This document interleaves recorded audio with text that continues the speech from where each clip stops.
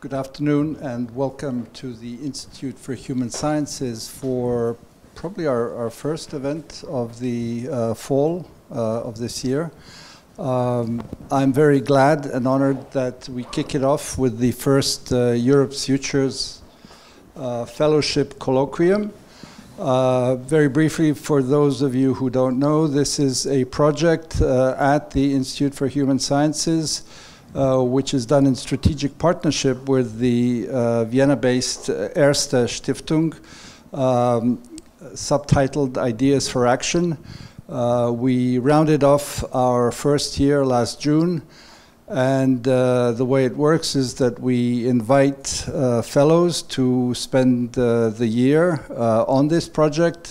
during the month of September, they are in residence here at the Institute and for the rest of the year, they are non-residents because they all have their day jobs in uh, various European uh, cities working on specific projects. And uh, the colloquia that will be here uh, every Monday will endeavor to uh, present the individual projects that they're working on. Of course, we'll have a number of events in September that are related to uh, the project, but also during the course of the year, we will meet in conferences and workshops. And uh, we will this year uh, introduce a blog that will appear weekly, and uh, we'll kick it off on uh, Monday. Uh, several of the fellows have already sent in their first pieces.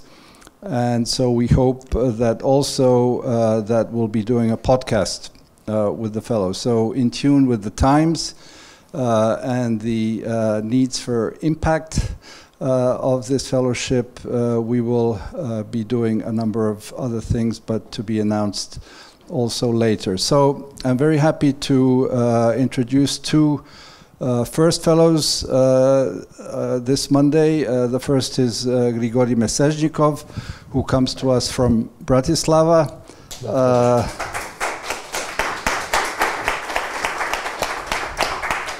A warm welcome to Grigori, who will be the first one to present. He's a political scientist, has uh, worked on all things uh, related to uh, transition uh, politics, uh, to democracy and its challenges. Uh, he just gave me his latest production, then a co-edited volume with Jacek Kucharczyk on The Phantom Menace, the politics and policies of migration in Central and Eastern Europe. This will be in the library uh, in a few days. Uh, today he will talk about uh, illiberalism in this part of the world, uh, the case of Slovakia in particular. I think he has a PowerPoint uh, presentation. Uh, each of the fellows has about an hour. And at the end of it, you will all be invited to join us for our usual wine and cheese downstairs in our um, refectory. Uh, I'd also like to mention that this is being uh, broadcast live through YouTube and uh, will also be up uh, on the YouTube uh, IWM YouTube site for you to watch to um, find out those details that you missed as you were thinking of something else during the talk or the discussion. Um, I'd also like to mention that all in all, we have eight fellows uh, this year. I'd just like to mention them uh, by name. I'll introduce them, of course, one by one as we have the, the colloquia or the events. Uh, we have Nicole Koenig here from the Institut Jacques Delors in Paris, Peter Krekó from Political Capital in Budapest, Niccolo Milanese, who will be presenting just now, so I'll introduce him separately. Alida Vračić uh, from Sarajevo, uh, in the back of the room, Bernd Marin, who is a Viennese-based uh, social scientist. Um, we also have uh, Isabel Ioannides, who's uh, from Cyprus originally, but she's Brussels-based, uh, linked to both the university there and to uh, uh, European institutions. Um, she is speaking today at a conference on a new start for EU foreign policy. Uh, that is why uh, she is not with us, and I'm missing someone. Leszek Jażdżewski, thank you very much for the souffleur. Uh, and uh, he is from from Łódź in Poland, where he runs a festival called the not the Hunger Games but the Freedom Games, and uh, he is involved in that. So he be he will be here with us on Monday. So without further ado, Grigori, please uh, take uh, the floor. Thank you very much, Ivan, for this kind introduction. Really, I'm very pleased to be here. It's my premiere in Institute for Human Sciences, so really I'm very thankful to the Institute that I was admitted to this uh, program, uh, Europe's Future, and I will work uh, on uh, the topic which I consider as a very serious uh, in my country, but also in Central Europe and broadly, probably we are now witnessing this phenomenon in, the, in the whole Europe strengthening positions of extreme parties, radical parties, and in Slovakia since 2016, it's really inseparable part of uh, party politics and uh, public discourse. But I would start probably with some positive remarks. Because uh, I came from the country, not very remote from, uh, from Austria, from Slovakia, which is mentioned today as an example of very positive developments. So positive dynamism in recent two years. Of course, we know that uh, it started with a horrible event. And after this event, which provoked mass manifestations of people, rallies around the country, in Bratislava, in regional district cities. There were authors which compare this ex civic explosion with the Velvet Revolution, uh, that since uh, November 1989, Slovakia didn't witness such mass manifestations, and really the positive dynamism was launched, and there were some sequences of this dynamism. First, of course, uh, changes uh, in personal composition of the government. Prime Minister resigned, Minister of Interior resigned, some high police officer resigned.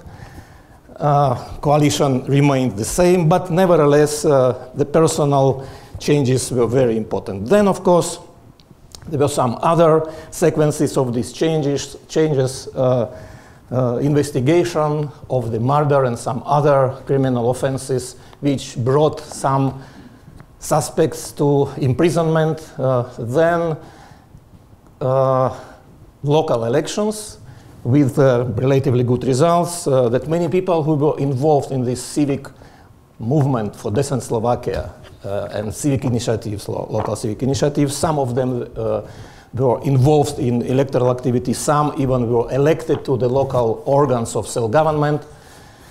Then in March, uh, person who symbolized, I think, uh, symbolized these wishes of changes, Zuzana Čaputová was elected as a president with the support of almost all opposition parties, pro-democratic opposition parties.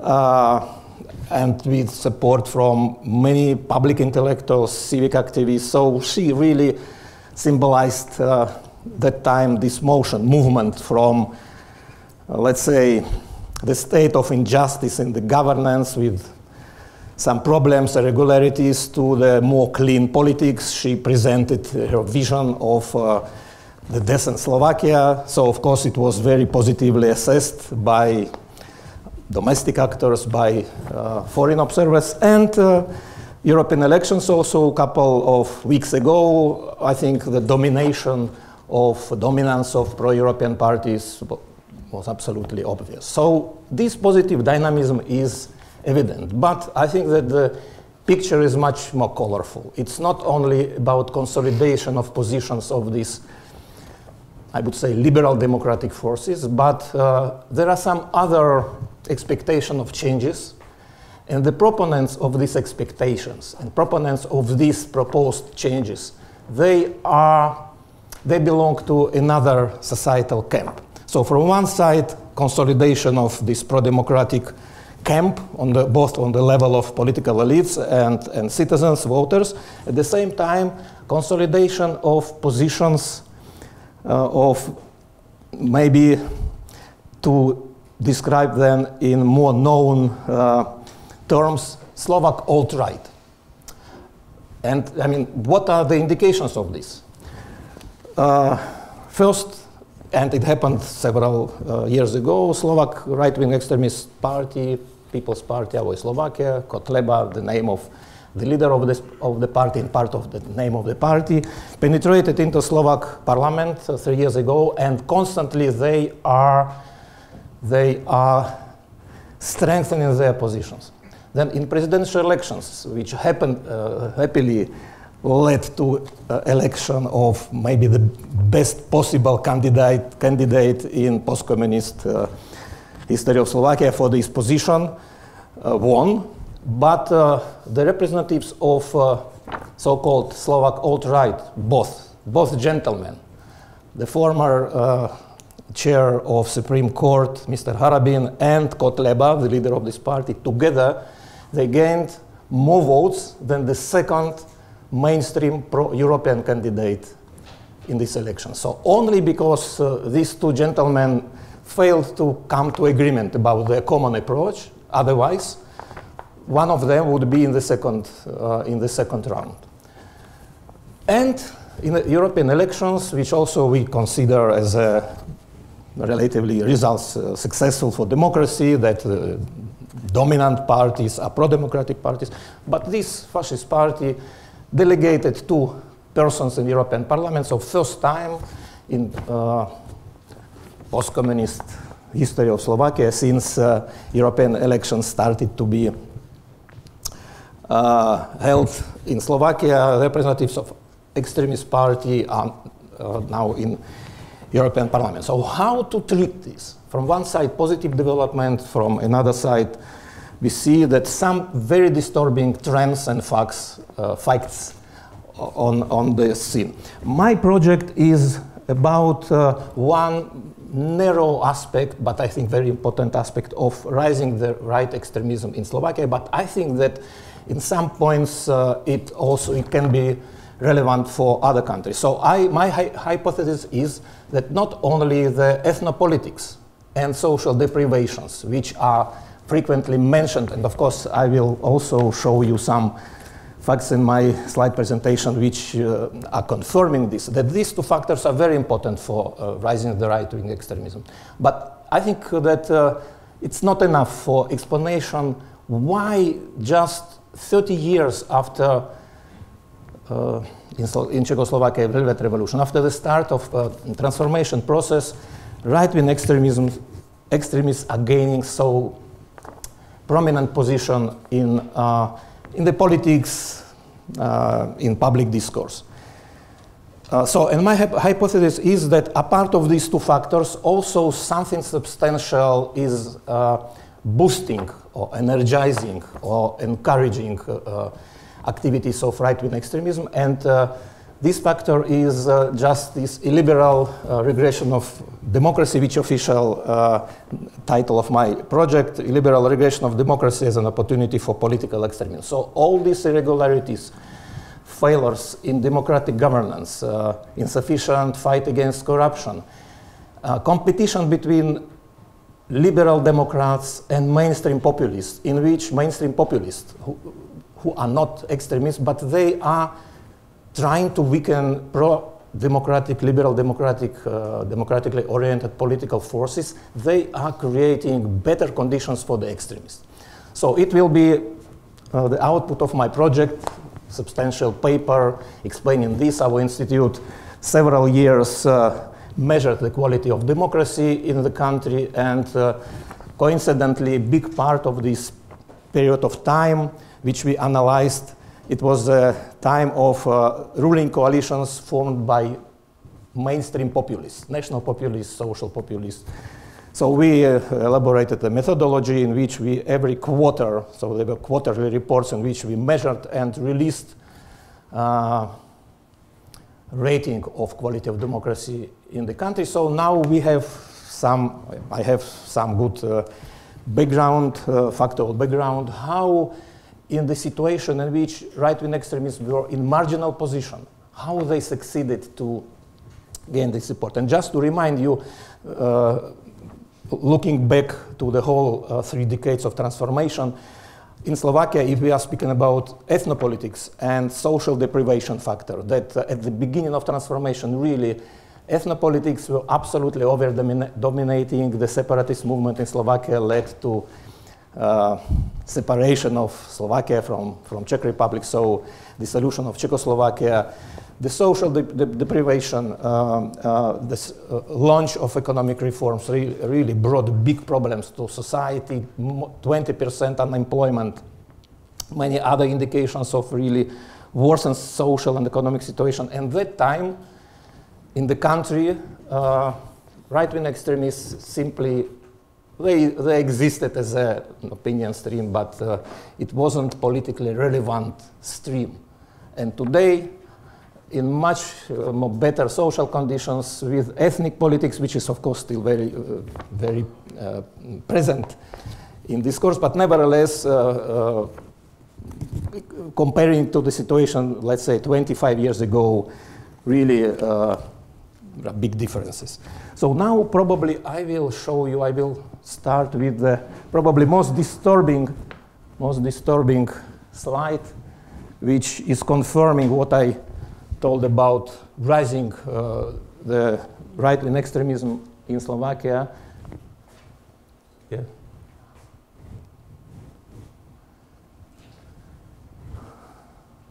Don't worry, my present, PowerPoint presentation will be short. Maybe it will be seven, eight slides, no more, maybe nine.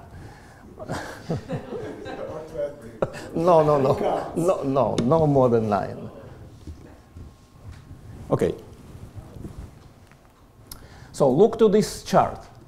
There is electoral statistics, and you can see how uh, after 2016, or since 2016, uh, right-wing extremist party, what I uh, mentioned, uh, it's uh, Slovak uh, People's Party, Our Slovakia, Marian Kotleba, Kotleba's party. How they really succeeded to gain substantial uh, public support. They participated two times in elections to the parliament and with insignificant results. And in 2016, you see that really uh, they gained very substantial support, 8%. Then in the European uh, elections to European Parliament, first time they participated in 2014, and they really, you see that they have got more than, I think, 12 times more votes in these elections. So elections which were held several uh, weeks ago. In regional elections, uh, for them, uh, 102,000 uh, people voted. It's very important also to take into consideration the difference in uh, voter uh, turnout. So it means that, for example, in these regional elections, uh, approximately half of the potential electorate voted for their candidates to regional governors. So with uh, almost 30% turnout, it means that they have more than two, uh, 200, maybe 240,000 voters. And when in 2000, uh, 2017, uh, Marian Kotleba was defeated as a regional because he was, in 2013, he was coincidentally elected to uh, position of regional governor, uh, governor in Banska Bystrica, but he was defeated in 2017 by the common candidate of the uh, all democratic parties, let's say. And some, uh, some very optimistic voices at times uh, said that, look, Kotleba's party is uh, constantly weakening. But uh, I think that they simply didn't uh, realize the difference in regional elections and uh, I think it's very important for an anal analysis to take into consideration the real statistic, the real votes. So it means that this party is still strong. This party is, I think, today even electorally stronger than in 2016, and this party is definitely going to be again elected in, in national parliament and probably even with a better result. So it means that now they became uh, integral part of party system. They are in a very strange situation. Officially, they are not recognized by any democratic parties, but there are some political games which are giving them, maybe not leverage, but uh, giving them positions in which they are more relevant. And of course, it's a problem, but a bit later about this. Now, uh, here you can see some factors which uh, are supportive for rising uh, right-wing extremism in Slovakia. Some of them, I think, they are similar or they can be relevant for other countries, but some are very specific. Uh, multi-ethnic composition of the population, dramatic social situation of Roma minority. I think that it's typical for some other Central European countries, but uh, some, uh, some differences in history of the country, for example, uh, ideological and political legacy of domestic fascism in 20th century. This party is openly admiring the pro-Nazi regime of uh, President Tiso during the Second World War. Then there are very visible revisionist elements uh, within the established historical science and the public discourse, and it's not related only to the history of Second World War, which is very important.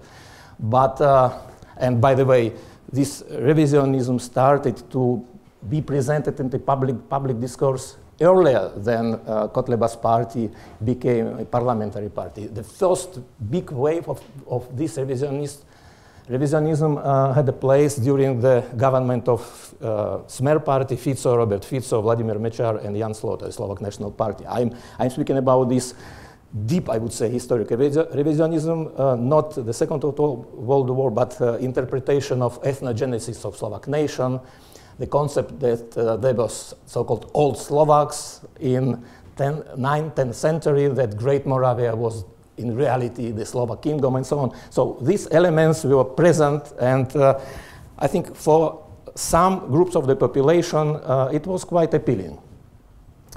Then of course negative effect of uh, country's isolation uh, on the population's value, value orientations uh, and uh, eroding consensus of mainstream politicians on prevention of extremists from participation in politics. So uh, after uh, Kotleba's party entered the parliament, it was of course shock. It was shock for liberal Democrats, it was shock for mainstream populists, and somehow few months after the election, elections really uh, even it was uh, the ju justification of the creation of a ruling coalition, which still is operating, which is quite strange mixture of self-proclaimed uh, social democrats, uh, Civic Party of Slovak and Hungarians, and Radical Slovak Nationalist National Party. But they came to conclusion that what one of the reasons which they presented to the population why they agreed to form this government was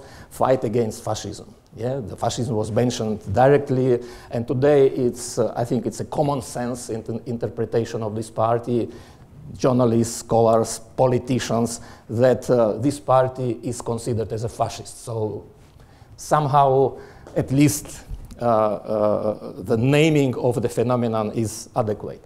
And then some external uh, factors, first, of course, refugee crisis, which was used by Kotleba's party. Quite paradoxically, uh, before elections 2016, it was probably half a year in which migration issue was the main topic in public discourse and main topic in electoral campaign, but he wasn't the main actor of this spreading the hysteria, anti-refugee, anti-migration hysteria. It was Mr. Fico, Prime Minister Fico, uh, that time, who was the most proactive fighter against illegal or legal any migration, but at the end, the voters uh, considered more authentic uh, Kotleba's party than Smer party. Smer party, uh, the electoral gain was 18% less than in previous elections, but because these two smaller parties, which I mentioned, uh, Slovak Hungarian Party, Civic Party, and, uh, and Slovak National Party, Fico succeeded to form third time the, gov the, government. So, and then another exter external factors, which I think not only me, but also some of my colleagues, that this Russian authoritarian influence uh, also uh, somehow helped to boost support among among uh, uh, the voters, potential voters of Kotleba's party, especially these narratives. These narratives which, uh, and by the way, uh, Kotleba's party and some other extreme right nationalist smaller groups, either polit with political ambitions or just uh, civic associations, all of them, without any exclusion, which is, I think, quite symptomatic, all of them are pro-Russian. They are presenting views which are consistent with the positions of uh, current government of Russian Federation and the narratives which are spread by either directly actors of Russian propaganda or their local agents, they are, I think, they're harmf harmful for democracy in terms that, for example, they are propagating the uh, dominance of ethnic factors or over uh, the universal principle. So the Sl Slavic brotherhood is more important than membership in European Union, and NATO, which are based on universal, uh, universal values. Uh, that liberal democracy is not uh, workable, not working concept, and much better is the strong hand uh, based on the law and order and so on. And all these narratives, of course, they are multiplying by the uh, actors of extreme, extreme right scene. Then there are some other more concrete, more concrete factors which also are supportive for extremist politics. Uh, they are, I would say, partially more specific for Slovakia, but also for example, anti-Western views, all these politicians against our membership in NATO and EU, Kotleba's party initiated petition for the referendum about withdrawal of Slovakia from EU and NATO.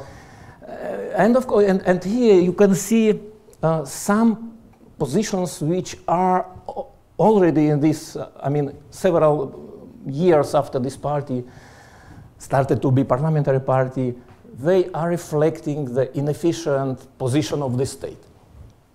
So I will tell more about this at the end of my, uh, of my presentation, but really so far the situation is that mostly, now probably there are some changes, but mostly all these incidents, either individual incidents or representatives of, the, of this party or individual members of the party or party as such.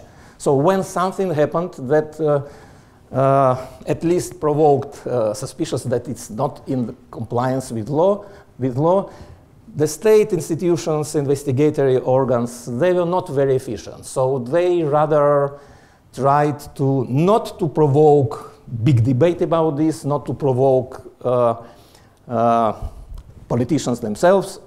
Uh, there were some cases in which, uh, for example, uh, members of local law enforcing organs were quite reluctant in, let's say, investigation of punishment of these cases. And you can imagine uh, that, let's say, in some eastern or central Slovakia, Slovakia's communities in which uh, the population is mixed, Slovak and Roma. And of course, relations, interethnic relations are quite tough, problematic, uh, how people in everyday communication are violating sometimes, not all of, of, them, but some violent persons, how they are treating, for example, Roma uh, co-fellows. Yeah? And in this situation, there were many cases uh, documented by NGOs that uh, local police uh, simply didn't come to help of the people who were assaulted or otherwise uh, even maybe harmed. So, and of course, uh, trends of political rad radicalization, which, which is presented in these three, I think, symptoms. The mainstream politicians uh, radicalize their rhetoric. So, main, so, so politicians from mainstream party, they're using today much more radical uh, vocabulary. That radical anti-systemic forces strengthen their position in political scene, what, what I mentioned, and you, you saw how uh, Kotleba's party uh, is strengthening its uh, electoral support, and shift towards more xenophobic perception of various social groups, especially minority communities by a large group of the population. And next slide is also quite disturbing. We conducted opinion polls in which we surveyed uh, the social distance of the majority of the population toward different identity, identity defined groups, ethnic, religious groups, uh, sex, sexual orientations, and some other uh, parameters. And you see how uh, during the less than 10 years, uh, the perception of people about members of other groups really worsened. deteriorated. It's classical Bogardus test. Uh, would you like to have, the question was quite simple, would you like to have neighbors as from Roma family, Muslim family? You see how uh, in, some, these, in some groups the social distance really substantially uh, increased. Muslim family, understandably, uh, after this so-called refugee crisis, but also a family of migrants from less developed countries, more than two times, uh, worsened the attitude toward people of uh, so-called non-traditional sexual orientation uh, against Asian family, even against Jews, which is, I mean, it doesn't have any other explanation than only activities of fascists in the parliament, in the public discourse. Because uh, you, can, you can explain, let's say, worsening perception of Muslims or re refugees or even people with sexual orientations, uh, different sexual orientations, because there are some conservative social initiatives which are systematically working by, uh, with this topic. And of course, it also can influence the people. But Jews, which is, I mean, Jewish community is almost uh, invisible and nothing happened in relations between majority population and Jews. No any occurrences, no any incidents, uh, no any even, let's say, involvement of some symbolic Jewish persons in some wrongdoings. Nothing like this happened. And we see that almost three times worsened uh, uh, perception or treatment of Jews. And I think the explanation is that fascists, they gained their platform in the parliament. They are spreading this absolutely freely uh, anti-Jewish, anti-Semitic propaganda, and the result is that uh, it became partially, maybe even mainstream. The positive, the positive thing is that Hungarian perception of Hungarians uh, didn't change.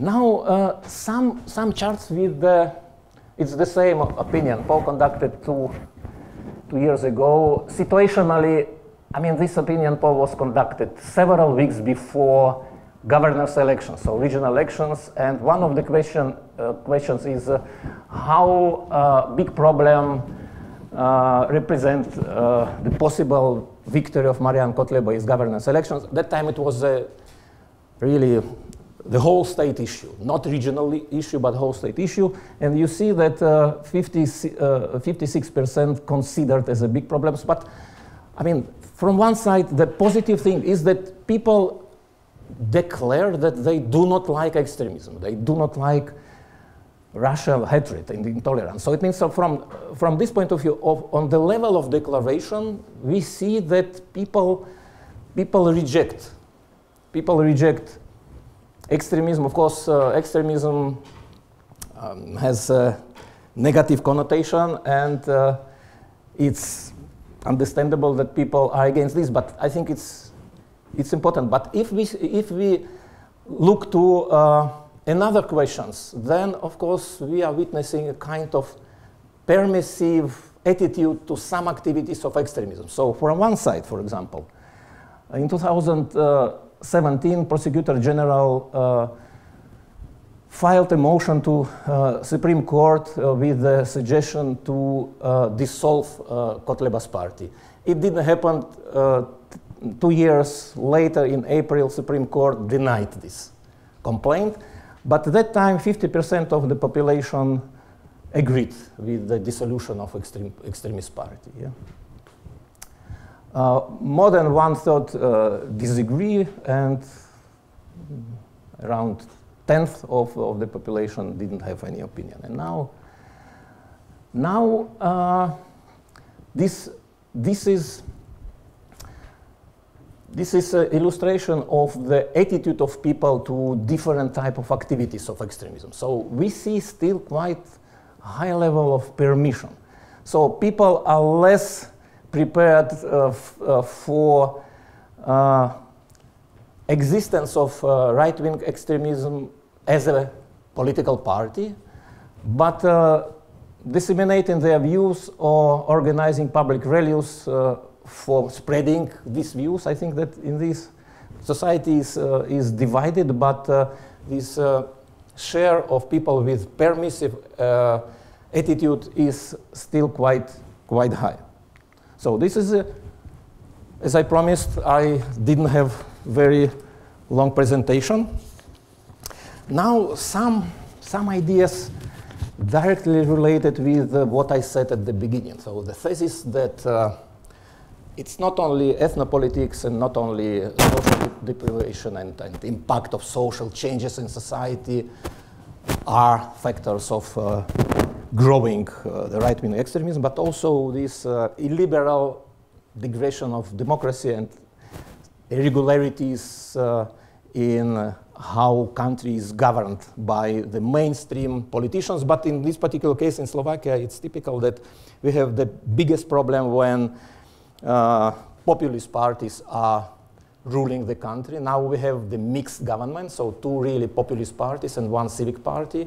It's for longer elaboration to explain why it happened that this government was formed, but it's, it's a fact that still uh, these mainstream uh, populists are in the power. And now the biggest problem, I think, is that uh, due to this uh, competition between particular political camps, and now we, we have more or less three camps, two equal, more or less equal concerning their strength and concerning their abilities and opportunity for them to replace each other after elections and really govern the country. And the second and the third uh, camp is still not so potent to be the ruling, but influencing uh, the discourse. So the first is govern, pro-governmental camp, uh, camp, this national populist. Second, liberal democratic forces, liberal democratic parties, different ideological orientations. Uh, liberals, conservatives, civic conservatives, civic democrats,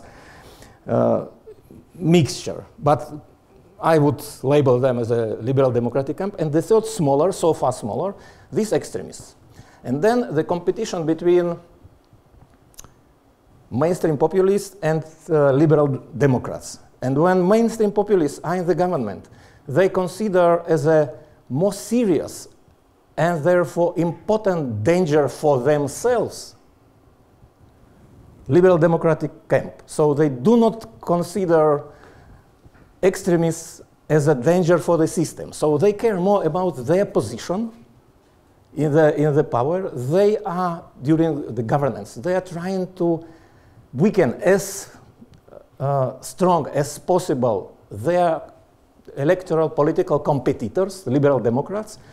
They are inventing different measures. They are, uh, they are uh, introducing uh, amendments to law. They are distorting the legislate, uh, uh, uh, procedures of how parliament works. For example, today, which is absolutely scandalous thing that in the parliament, the extraordinary session of the parliament wasn't open because of the obstruction of the ruling coalition MPs, which is, I think it's not in compliance with the standing order of the parliament, but it's, it's normal uh, in our country that uh, I mean, these two competing camps uh, are trying to weaken each other, but the mainstream populists, they are much more aggressive, and I have to say that more e efficient in weakening the liberal Democrats, because it's a part of their habit. When liberal Democrats are governing, they are respecting uh, procedural consensus norms.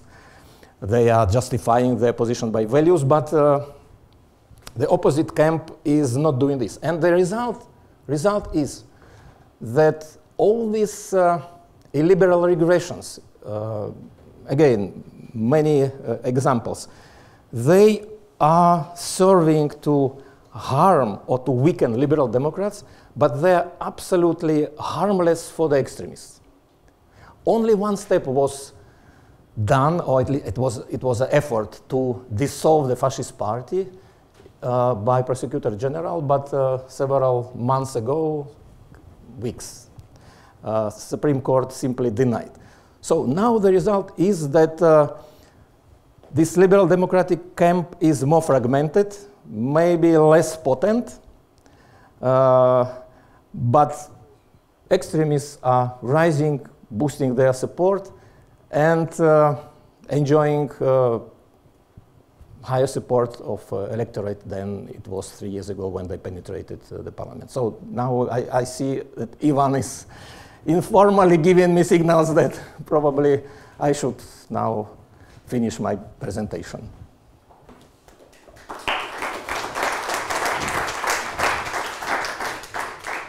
Thank you. Thank you very much, uh, Grigori. So much food for thought, and as you said in your introduction, relevant to so many other countries uh, in all over Europe, uh, in in many many member states, uh, as to the political dynamics between uh, mainstream, the weakening mainstream, rising far right. I will. Uh, hold back uh, on my questions, and I have several because I want to open it immediately uh, to the floor. We have uh, about 20 minutes for, for discussion. So I see Holly first. And do introduce yourselves because I think Grigori doesn't know most of you. Uh, I'll take three questions Holly, Peter, and uh, someone else. And Alida. Thanks so much. Uh, this was really interesting. I'm Holly Case. I'm a historian at Brown University.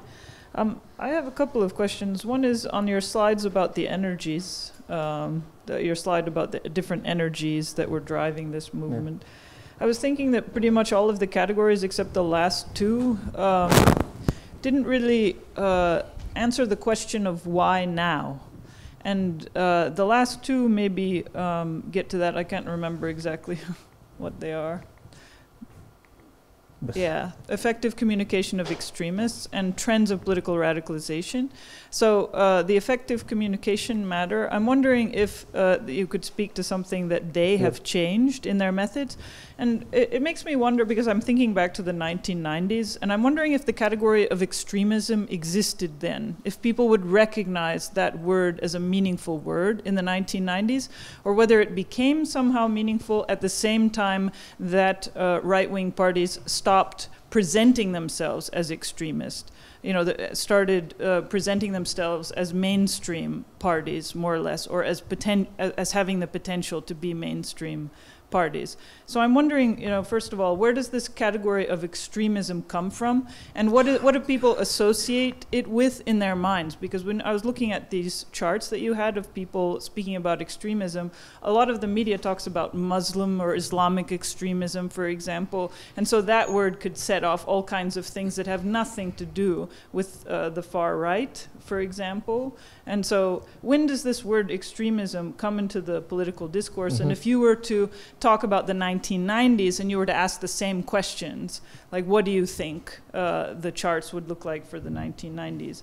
Um, also, um, in the course of your talk, uh, you referred to a couple of instances where there were efforts uh, on the part of this or that uh, party and government to dissolve the extreme, the far right parties.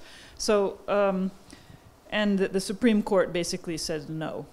In that respect, it seems as though part of what you're saying is subtextually is that the Supreme Court is kind of the problem. And so the question is like, where, like, is it that um, people are making bad decisions or that they're being sent the wrong signals by mm-hmm. institutions that are themselves making bad decisions? Or what would be, where is the locus where some of this could change in your mind? And where's the locus where the mistakes are being made? Mm-hmm. Like, uh, and um, finally, I, I, find this statistic about the Hungarians very interesting. First of all, that it starts out low. Second of all, that it stays low.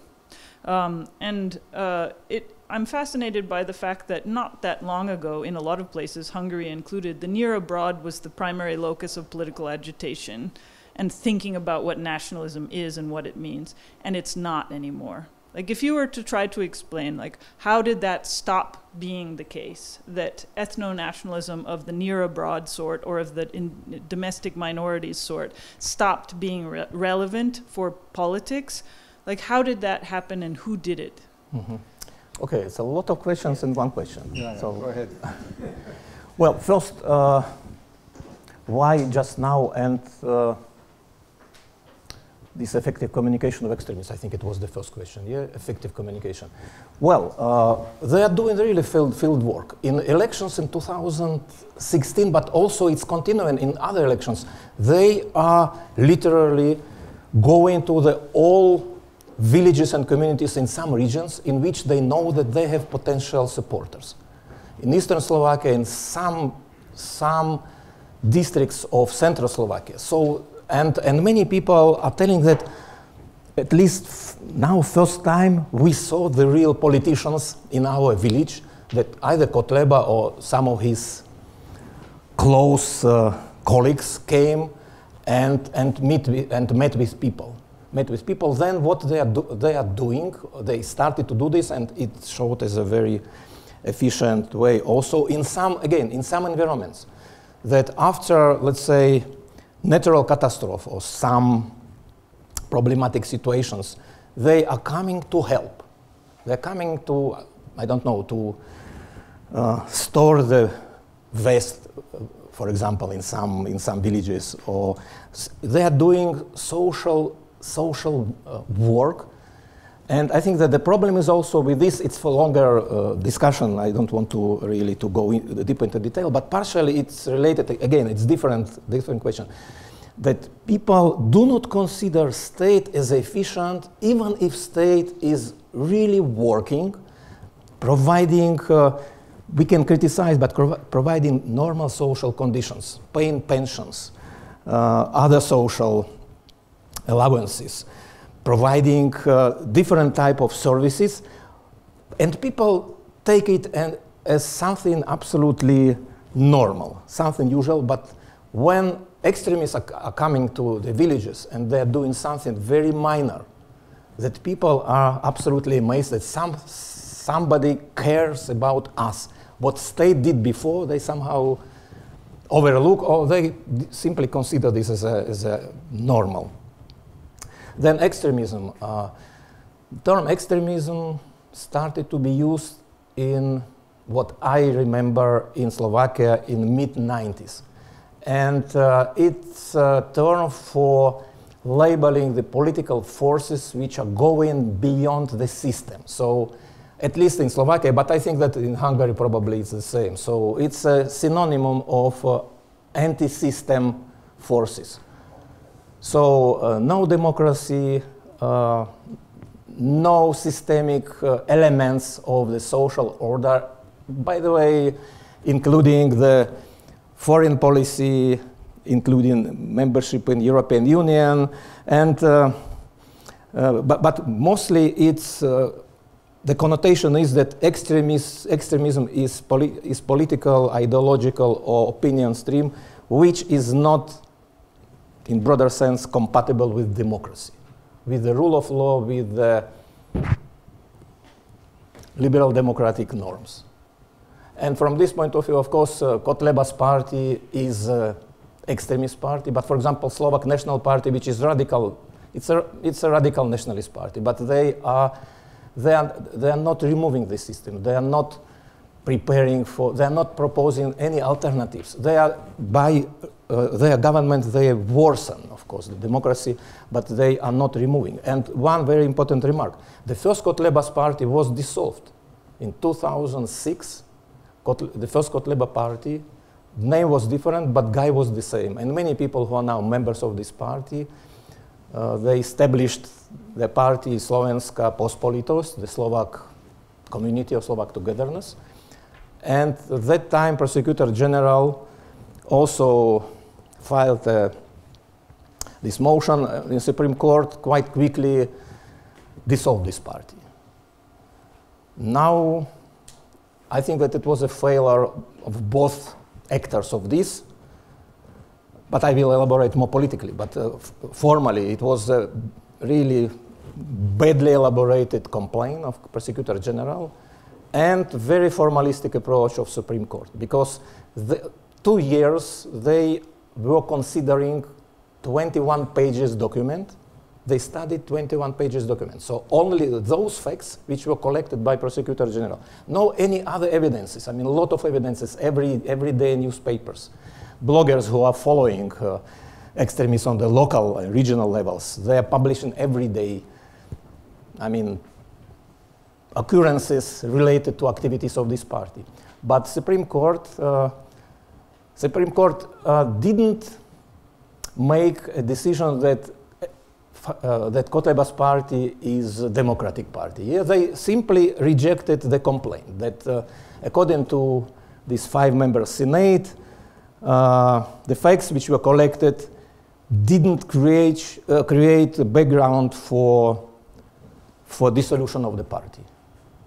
So answering to your question, in this particular case, it was, I think, the failure of the, not of the government, of course, but the state institutions as such. But uh, just to mention one example from two days uh, uh, before communicado of uh, Mr. Fico. Last week, one of the members of this party was sentenced in criminal procedure. He was sentenced for financial fine, but it was a criminal. So he was sentenced uh, in the criminal uh, criminal um, process uh, for spreading hate about Roma. He was uh, sentenced two times by the lawyer uh, courts, and then Supreme Court confirmed this. So immediately, automatically, he lost his mandate. He, he was a, MP. And Mr. Fico, chairman of Social Democratic Party, recorded a video in which he de facto criticized uh, Supreme Court, and the justification for his position was that everybody in Slovakia thinks how Mazurek presented the, his views about Roma. So it means that now Supreme Court simply punished all the population, something like this. So the guy who was absolutely in accordance with all provisions of criminal law was sentenced, was accused and sentenced for, for, for crimes. According to Fico, it was bad decision. Yeah? Uh, I can imagine, I, I, it's just my speculation, but if, uh, if Supreme Court would uh, dissolve Kotleba's party, then Fico probably will be the first who would criticize this. But, but uh, just one minute. But the most interesting thing is that the guy who, uh, who is now in prison for his uh, suspicious in ordering the murder of Jan Kuciak and his fiancée, Marian Kočner. And uh, he was known by his very close con contacts with the highest political echelon in the country. And police uh, decoded his communication uh, through Threema with, uh, with his lover and co-fellow in crimes, and in which, in this communication, he was telling her that uh, after the murder, uh, when it wasn't clear whether the government will survive or not, that his idea was uh, to not to replace one of the parties which at that time probably would uh, uh, leave the coalition. It didn't happen, but they were thinking about this, this uh, Slovak Hungarian Civic Party, that Kotleba, Kotleba par, Kotleba's party would support them because, and now the most interesting thing, because I managed on Supreme Court that they didn't, didn't dissolve them. And he, and he had really, and he, so far he had probably now he has contacts to ministers, judges, prosecutors, uh, high police office, officers. So if he was influences judges in district court, why, she, why he couldn't do this in Supreme Court? So I don't want to say that Supreme Court uh, released the ruling because uh, judges were bribed by Kočner. But he was communicating about this as a fait accompli. Peter.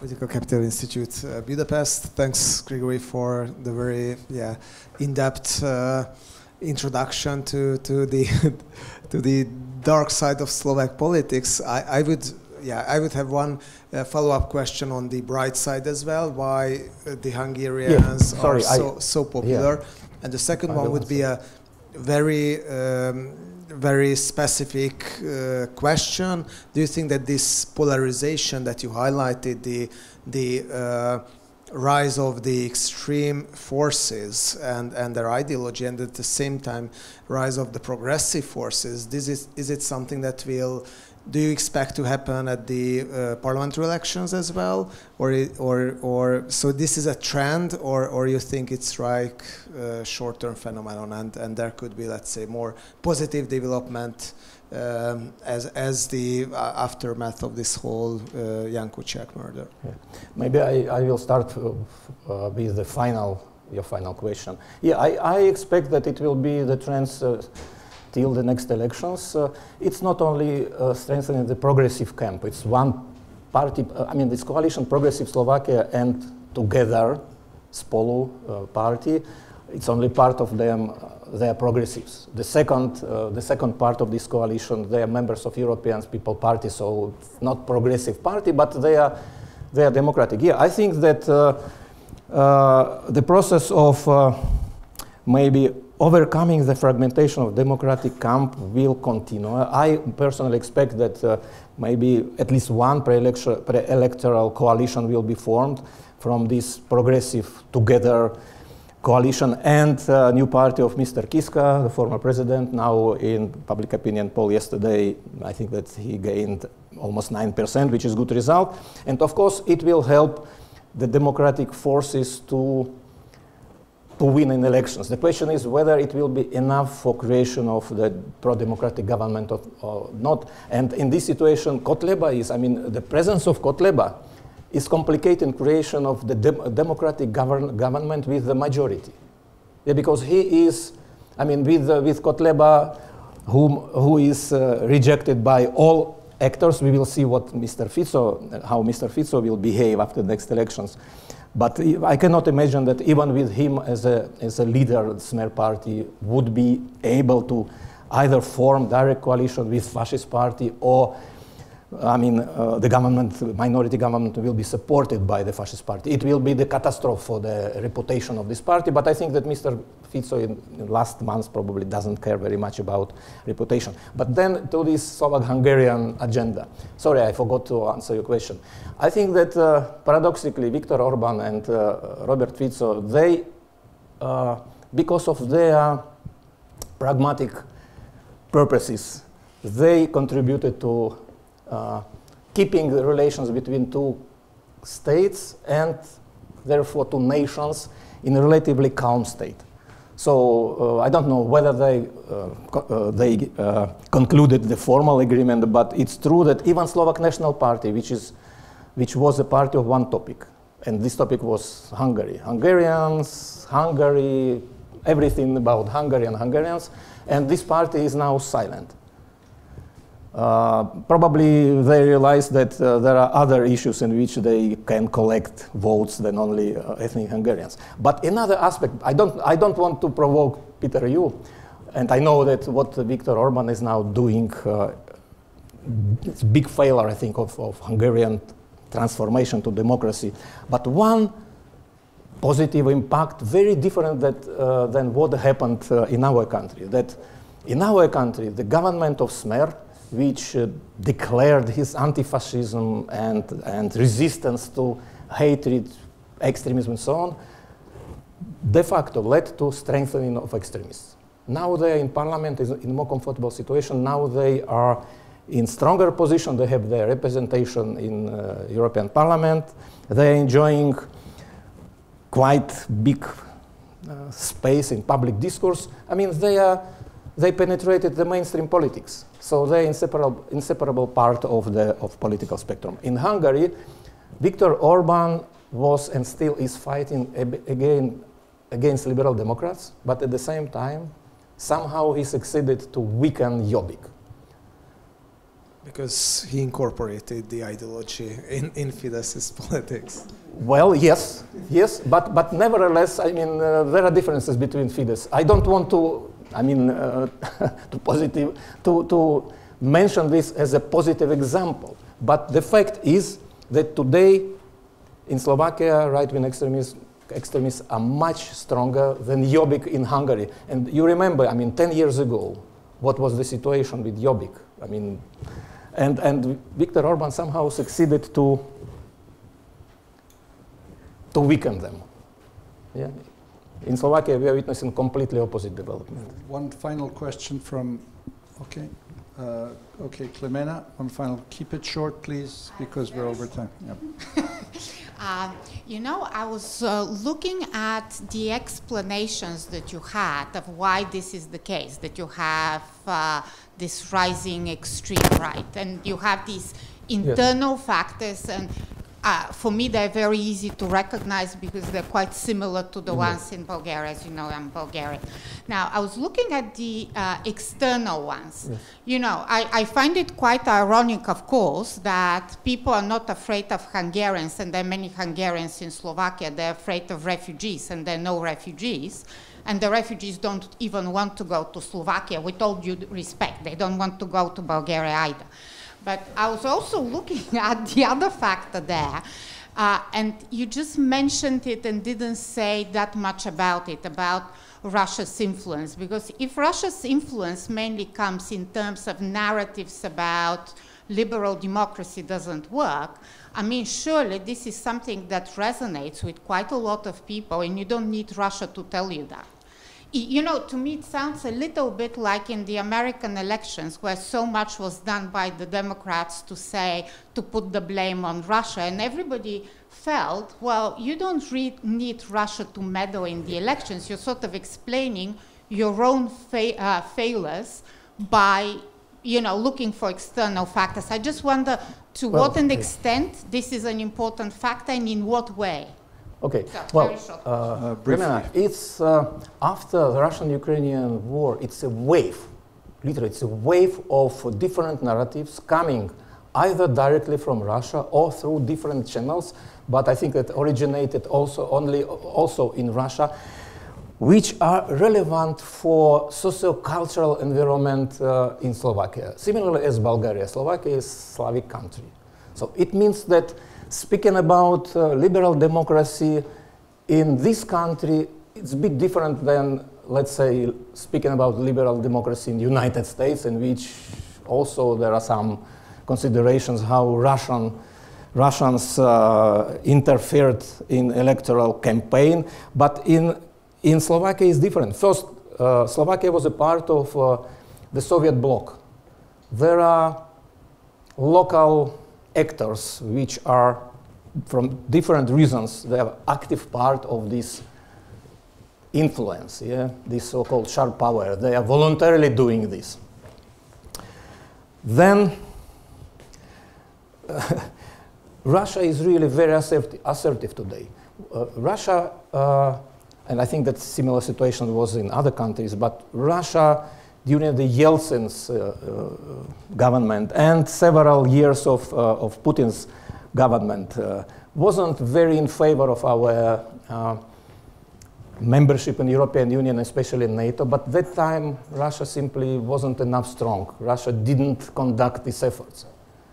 But today, uh, speaking about our participation, let's say, in the European Union, because the main idea of, uh, of uh, Russia's uh, soft power is to disconnect us from the West. And of course, it's a strategic, strategic uh, goal of extremists. All of them are against our membership in European Union and NATO.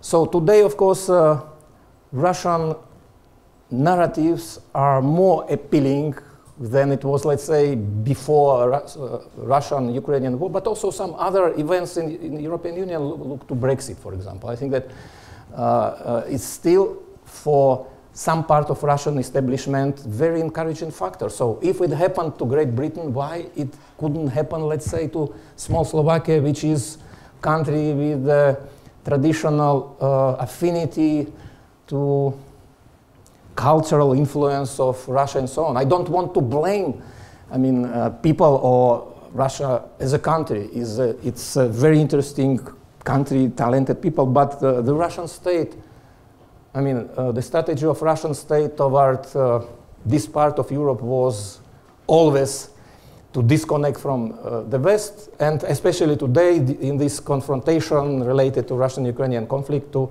strengthen any actor which is supportive for Russia. And as I said, all these extreme right uh, politicians, uh, different organizations, not only Kotleba's party, but we have even some paramilitary groups in the country, and we conducted with uh, Peter, Krekó, Peter Krekó's Institute the special survey about this. I mean, they have Russian connections. Grigorij, thank you very much. Thank you. And uh, we shall seamlessly uh, move to uh, Niccolò Milanese's uh, presentation. Uh, Niccolò comes to us uh, from Paris. Uh, he is a philosopher and, and, an author and a poet, and he is the director of European Alternatives. He's uh, a theoretician and an activist and has been running European Alternatives for four or five, 12 years. Mm. My goodness, you look so young, Nicole. Mine started young. Where does Europe end is the theme of uh, Niccolò's uh, research project. He uh, published uh, this book, uh, Citizens of Nowhere, with his colleague Lorenzo Marsili, How Europe Can Be Saved from Itself, and it has been recently translated into German, and we had a presentation uh, with Niccolò here in May at the Institute. And uh, as a Europe's Futures Fellow, he will be looking uh, at uh, this uh, topic that I uh, mentioned, where does Europe end? Political significations of Europe's uncertain geographies. Niccolò. Thanks very much, Ivan. It's a pleasure. It's a pleasure to be here. It's a pleasure to be back in this room standing up because last time I was here, I hurt, I hurt myself on my way here. I hurt my ankle and I was sitting there with my, my foot stretched out. So this time I'm going to take full advantage of the fact that I'm, I'm mobile. Um, as Ivan said, the, the research project is about this question where does Europe end? Uh, the political significations of Europe's uncertain geographies. I've just started thinking about it since a week, uh, so I'm still in some uh, perplexity. But um, maybe it's clear to me uh, at least where the interest is coming from. There's, let's say, a theoretical interest and then an activist interest. So my two, two of my personas are involved. The theoretical uh, interest is um, perhaps in an overarching topic of how to grasp, how to characterize our political collectivities. Um, and I use that word to try to get away from talking about our political identities, which sounds like it's an individual identity, um, to talk about our, the collectives we are part of. And my sense that um, the resources of theorizing around nationalism and nations, all the resources that are made available by talking about the globe or the whole world, are neither, neither of them sufficient, um, either individually or together, to grasp onto our political collectivities, that a missing category, um, which has been extremely important in world history and European history in particular, is that of empire. And we have great difficulties to, to sort of imaginatively grasp onto what does it mean to be part of empire, because I think perhaps they're, they're black spots in our historical memories still. Um, and in that um, yeah, state of, of, of theoretical uh, searching, the idea of Europe um, is an interesting one because it is an intermediary term.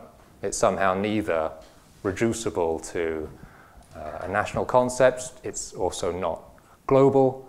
Um, throughout its history, it's been its history as, a, as an idea uh, and as an idea of, of poets and ancient Greek philosophers uh, before it, long before it became the idea of, of institutions.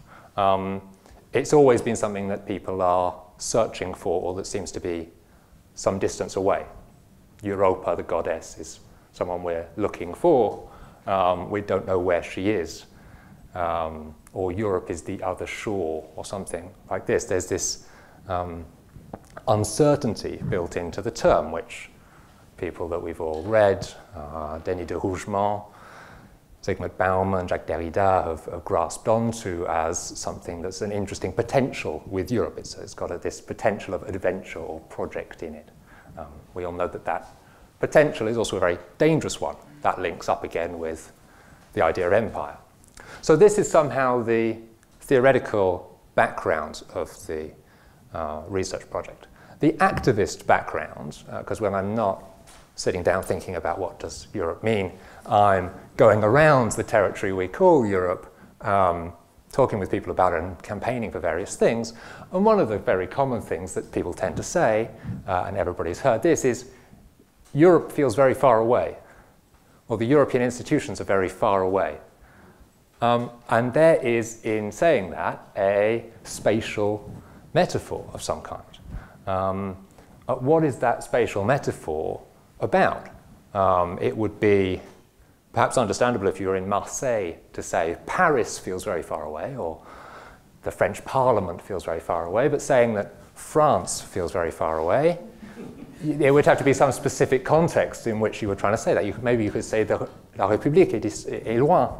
The, the Republic is far away. Maybe if you were trying to make a point about the absence of uh, the action of the Republic in your, in, your, in your area, in a place like Marseille. But anyhow, the, the, this spatial um, reference seems, seems curious and worth, worth thinking about. The way that the European Union and the European Union institutions and, and, and political actors and others um, tend to try to address that, because uh, they're pretty aware of all these people saying, You seem a very long way away, is um, to make themselves present by uh, putting flags on projects that they've sponsored.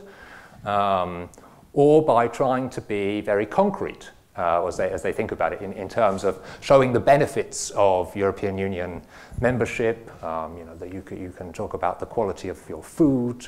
You can talk about, you know, you can be sure of the, the, the nature of the car that you buy in one country, you drive to another country. Is like practical benefits. Um, and I'm not sure, I mean, as, as useful as all of those things might be to make Europe less abstract, more concrete, I don't know whether it does anything to address the feeling of its distance. Um, now, there are probably other reasons that it feels it's very untransparent. Um, there's not talking heads in the same way as a, as a French president to represent Europe. Those factors are surely there as well. But I want to suggest that part of the reason for reaching for this spatial metaphor of it feels far away has got something to do with what great theorist that he was, José Manuel Barroso, uh, called the uh, unidentified political objecthood of the European Union. It's something that is very unfamiliar as a political object. We don't quite know how to classify it, think about it, and um, that might be part of the reason why it feels far away. And perhaps an important part of that is that the European Union doesn't know how to think about its own territory, and there might be um, a reason for that, uh, which is perhaps also a deep political reason about the identity of political collectivities in general, is that Europe has, until now, not had to think very hard about its external relationships uh, or how to justify itself to external actors. Um, and so that's, that's, that's those two um, things are, are, how I've been led into the topic. And I guess the active uh, importance of it is that I would want to feel that if I'm touring around Europe, trying to talk to people about what the European Union means and what we ought to do with it and so on. I think that I, I, I'm lacking a fully convincing way of articulating actually what it is, uh, the European Union. Um, another way of putting this would be that I, have written a book that Ivan kindly held up, Citizens of Nowhere, uh, the, the which obviously is playing off of Theresa May's phrase. The, the obvious thing perhaps to do after a book called Citizens of Nowhere is to think about quite what the place um, that nowhere is standing in for is. We're not citizens of nowhere, um, but we're perhaps also not citizens of somewhere in the rather traditional sense that some writers talk about citizens of somewhere. Um, so this is, this is the topic. There could still be some doubts about whether the European Union has a territory. Um, some people have, have thought about it as a post-territorial actor, um, as if somehow the European Union could dispense with thinking about its territory at all. Um, and perhaps even th- th- seeing that as a good thing. It's a post territorial actor which is therefore better adapted to our post territorial world um, which is full of flows and, and, and networks and these kinds of um, things, and so it doesn't necessarily need to have um, a concept of territory. I tend to think that if it doesn't need a concept of territory, that might be because other, there's the presupposition that other actors are, are doing the work of having a concept of territory, and that obviously enough is the member states. The presupposition is that the European Union doesn't need a concept of territory because the territory is already defined by the nation states. The nation states concern themselves with their territory. Um, and this introduces the, the difficulty of the thinking about European Union territory. Uh, that clearly, if it's got a relationship with its territory, its relationship is different to its territory uh, than the nation state relationship, if only because there's these entities called nation states, which are the member states of the European Union, somewhere in the mix. And it's easy then to think about a kind of hierarchy of levels, um, levels of governance or this kind of thing. Um, but I would, I would, so I mean, if we take a very simple-minded view of what, what a territory is, um, simple-minded. By that, I don't mean to characterize David Miller, whose, whose, whose definition I'm going to use. David Miller says that if we're going to talk about territory in a political sense, it involves three things. It, use, it involves a land, uh, it involves some people who are resident on that land, and it involves um, some governmental institutions which govern that land. And the question of territory is what is the relationship between those three things? Now, if that's what a territory is, then the European Union, I would suggest, has quite clearly a territory. Um, and even if there's these member states which are somehow involved, I think it's now difficult to maintain that the European Union has no direct impact at all or no relationship of governance at all with the people who are living on that territory. Um, and it's certainly difficult to maintain that the European Union has no role at all in, for example, managing the borders of that territory um, today.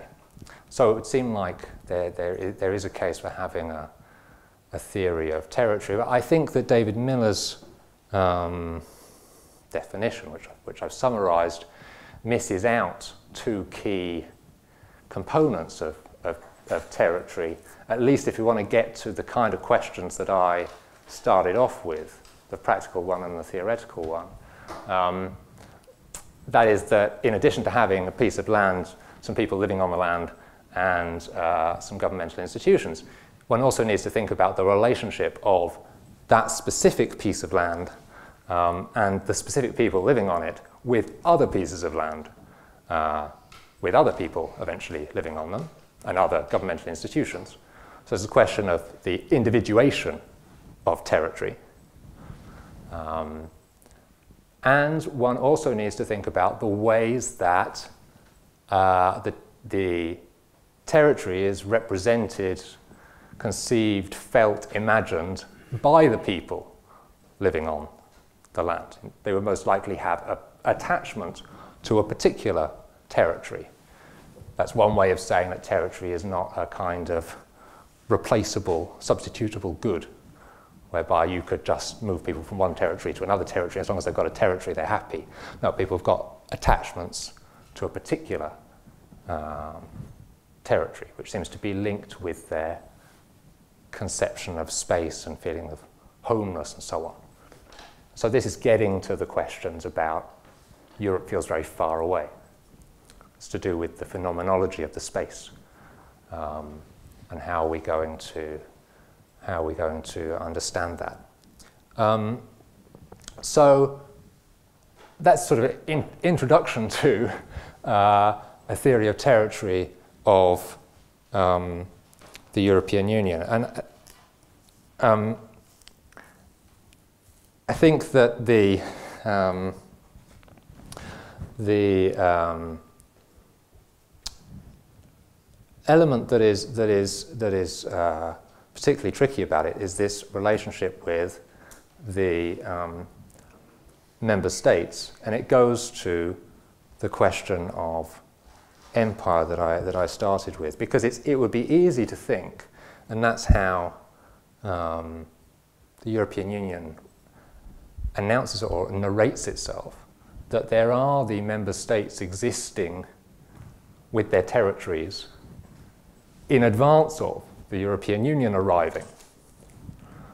Um, so that you, would have your, your nice member states and you put them all together, and then you've got the European Union. You could kind of build it like a jigsaw puzzle. And there's the territory. Um, but the history wasn't like that. Um, history wasn't like that, and that perhaps tells us something about the um, about the normative orientation, I, for, for, the want of a better word, of the European territory.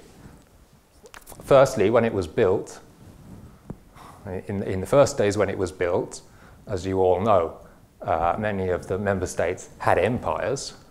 Um, and so uh, there was decision made about where the borders of what would become the European Union would be.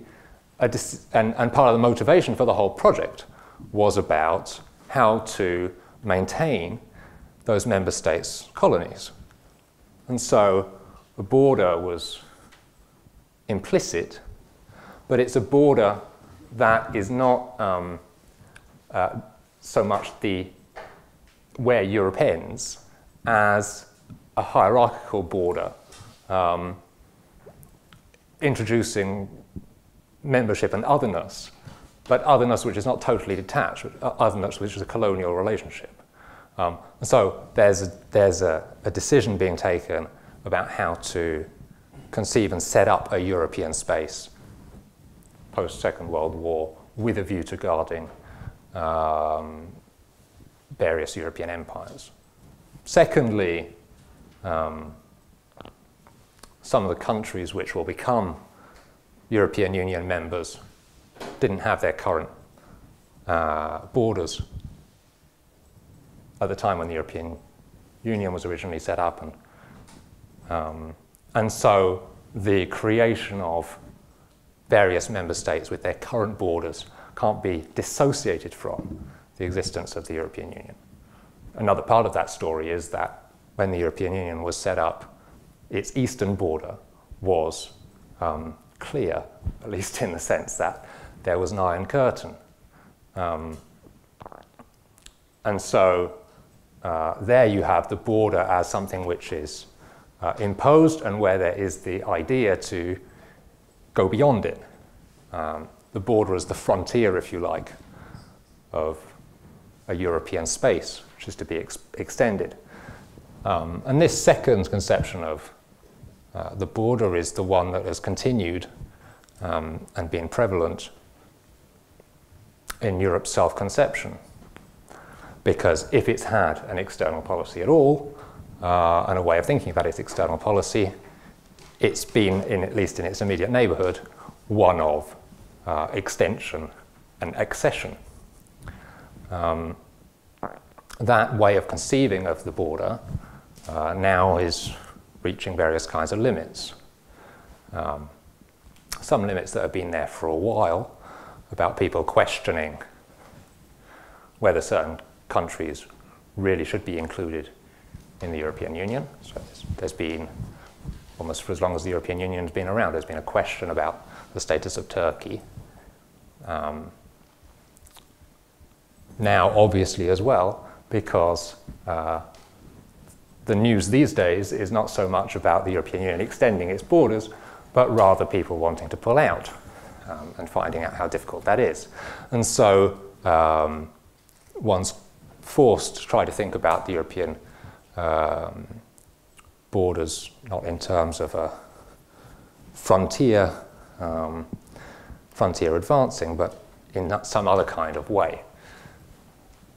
Um, now, it turns out that this idea of the European Union having a territory um, is something that European politicians have tried to skirt around for most of Europe's history, talking rather about space, a European space uh, of free movement, for example.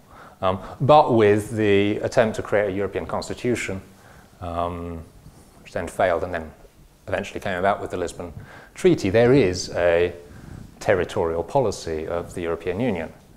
um, and an objective of having territorial cohesion, for example.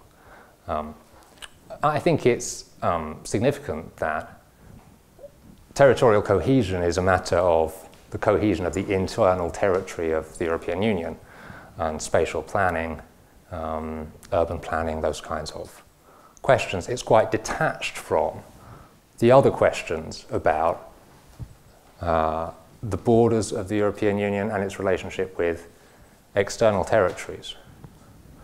Um, and I think that there's, there's all kinds of contingent reasons for that.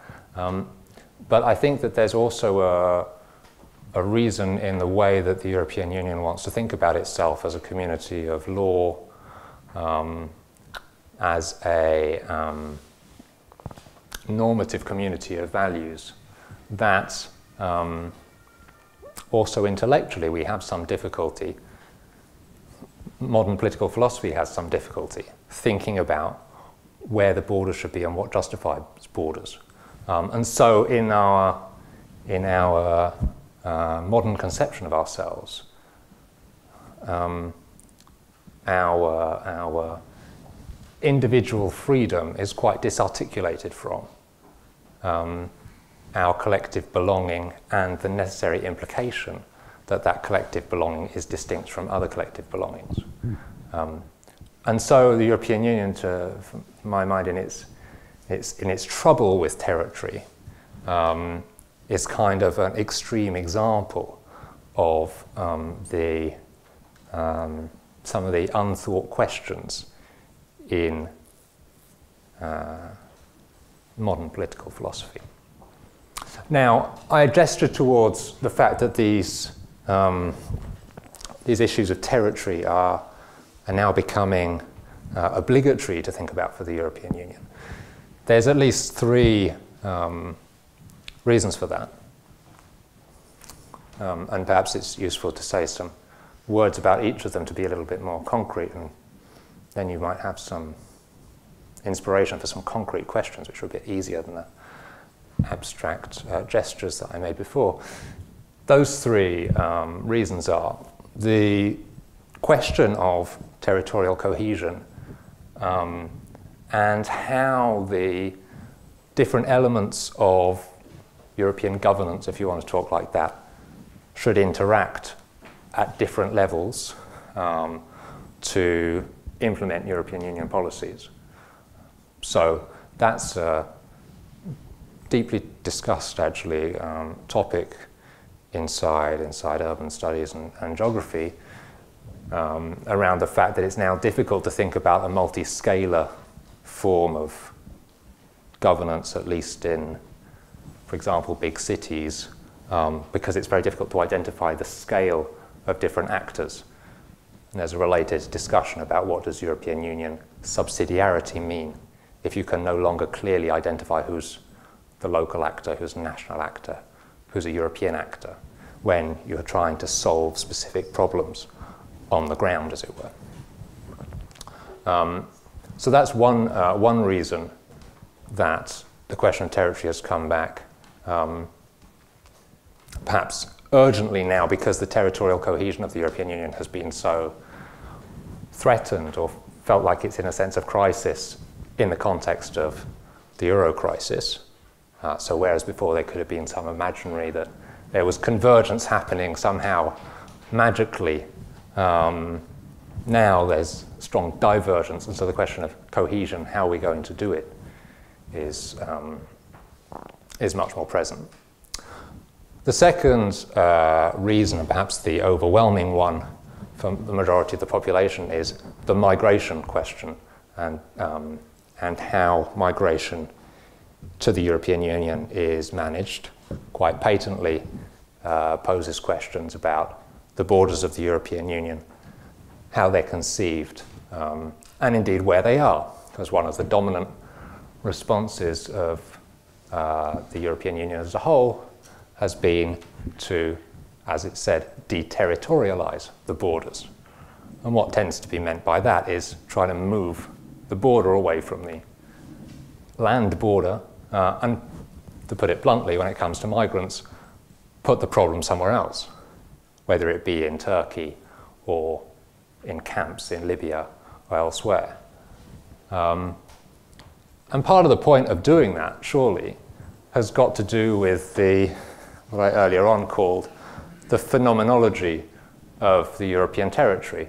That by moving the problem elsewhere, one is attempting to make it invisible, or at least invisible or absent for the European population living on the European territory, because you've moved it to Turkey or to Libya.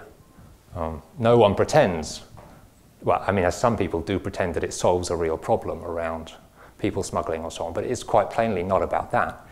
It's about moving it out of a mental space of the Europeans and putting it somewhere else. Um, so that's a way of saying that the European politicians do have a conception of, a working conception of territory that they exploit.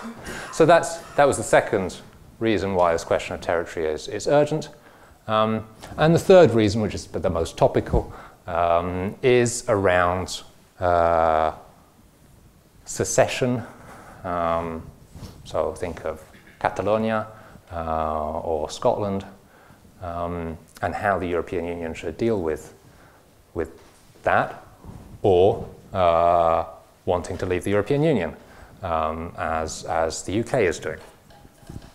And I think that the UK example um, and specifically the questions around the Irish border, but not only the questions about the Irish border, um, show that the European Union has a kind of, enacts a kind of paradigm shift in what territory means uh, in comparison with the member states.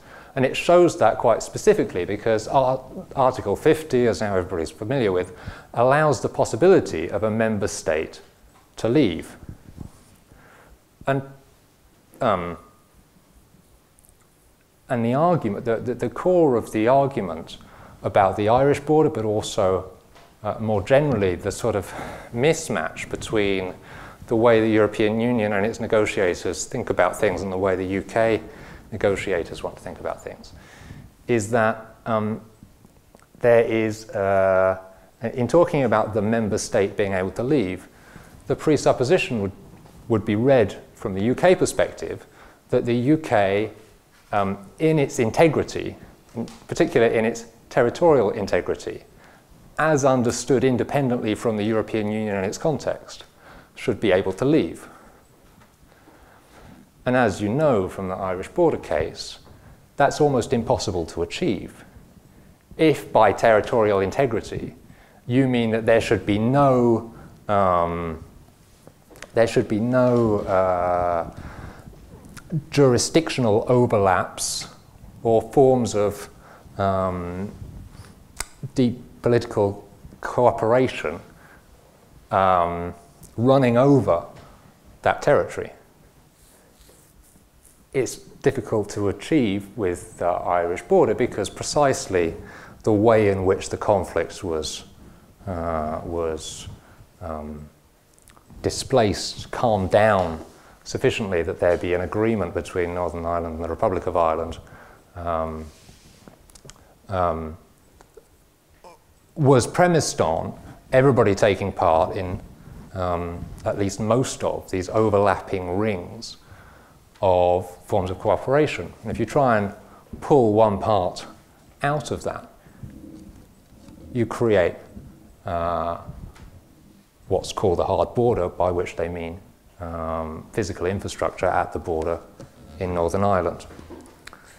Now, although it hasn't been really applied to the, to the UK case because there's not enough trust in the UK's intentions in leaving the European Union and also, um, and also the size of the UK's economy, notably, make it difficult to achieve, the EU has got um, tools of um, territorial differentiation at its disposal. So if you look at the case of Cyprus, for example, around about 40% of the territory of Cyprus uh, is not under the acquis communautaire because of the unresolved conflict in Cyprus. And the green line which separates northern Cyprus from, from the Republic of Cyprus.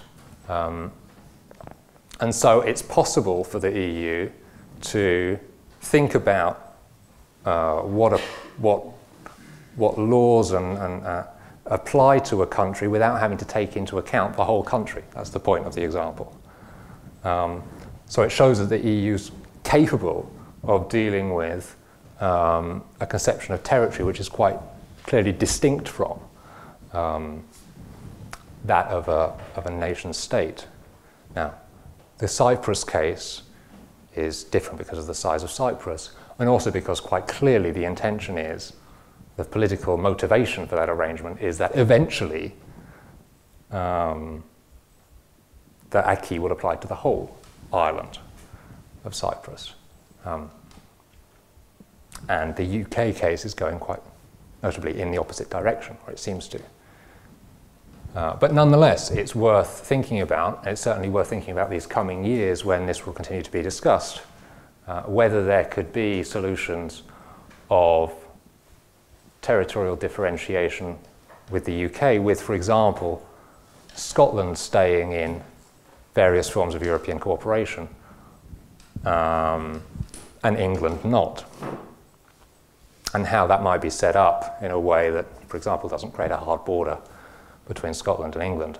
And so um, those uh, three examples of how this territorial question is coming back and is now posed migration, territorial integrity understood as social and territorial cohesion inside the European Union, and um, Brexit, which is, a, which is, if you like, the, is, is, is the moment that the EU is forced to, to uh, clarify what its relationship with its ex- external uh, borders is.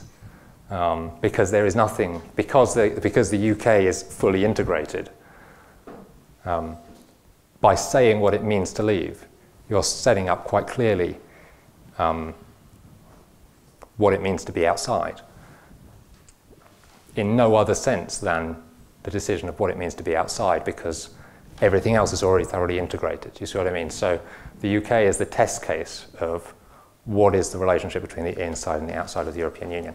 So those three uh, examples are some of the concrete ways I'm going to think about the problem over the coming year. Um, if you've got any tips, now is the moment, or, or, questions or total in clarity, um, I would be really grateful. Thanks very much.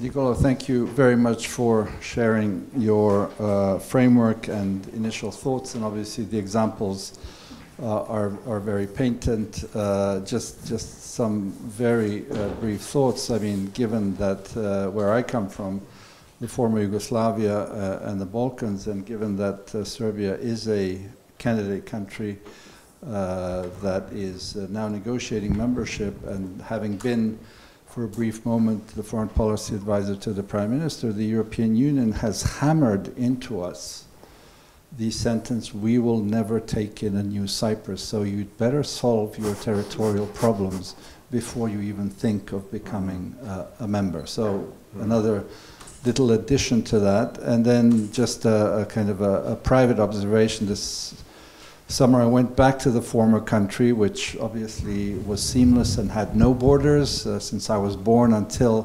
1991. And uh, traveling around the former country, I had to pass new borders four of them, uh, and uh, you know, entre nous, it seemed ridiculous. Uh, having been without borders, now you have borders, and that uh, throws back light onto the Irish border, which clearly is is uh, a burning question. And uh, it's interesting that the European Union, which has difficulty in finding a, a one voice on so many issues, on this particular issue, is really adamant and unified and saying that uh, it will be relentless in seeking uh, and maintaining a, a, backstop. Okay, I saw Milos wanted to ask a question, so go ahead. Thank you. I'm Miloš Vec. I'm a permanent fellow here. I would like to make some remarks from probably history, law, and politics. Uh, of course, I share fully also your comments. Borders are back um, on a daily scale now, not only in our debates, but also in practical politics. But uh, if you see it from a larger scale, you see that, again, this is also, so to say, maybe a moment in time. Um, you stressed very much on the dichotomy of inside and outside and physical borders are a part of this. And if, if we look back at state formation, uh, so this is thousand years ago, the, the, probably the first international treaties were border treaties in Mesopotamia.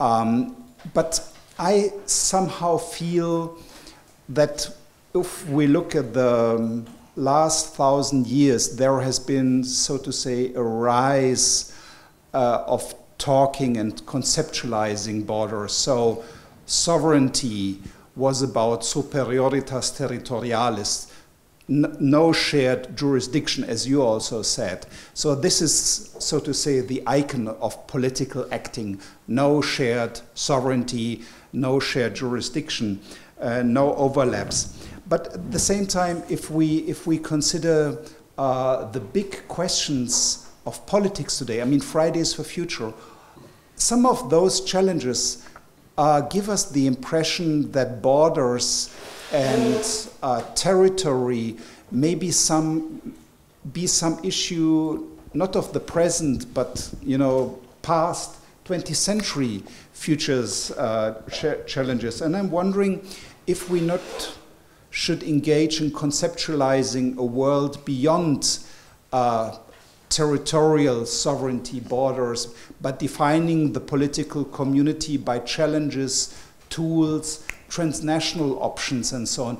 I mean, I have no ideas how to, to solve that issue, and it's really a big problem. But some of my colleagues from legal theory or so, they are trying to go into that direction, thinking about, you know, uh, energy, waste disposal, the oceans and so on. So this is just very vague, but uh, to give you some, some thoughts. Many thanks. Thanks. Can, can I jump on that immediately? Just because, I mean, I spend my whole life talking about transnational activism and going beyond borders, but um, I, I, think it's a, I think it's a mistake, and that's why I'm wanting to work on, on this topic, to think that the question of territory and borders has gone away Rather, I think that the, the nature of those borders and the nature of the territory has changed.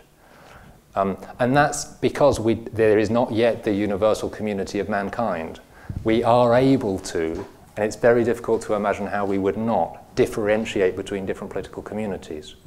Um, and a crucial part of that way of differentiation is to do with different territories. Um, and so that there's all of these people marching, and I, and I can see why, and I want to support them, towards global solutions for global challenges.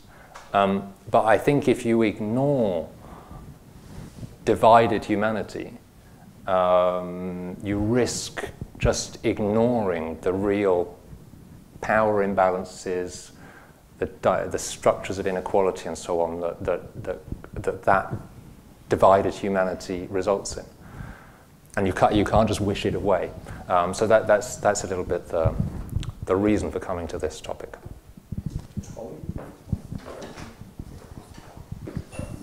Thanks so much. I find the topic very uh, interesting indeed. Um, one of the things that is sort of a paradox of our time that strikes me is that I think I used to know, or used to think I knew, what the content of being Hungarian was, according to the zeitgeist, or what the content of being Polish was, or whatever.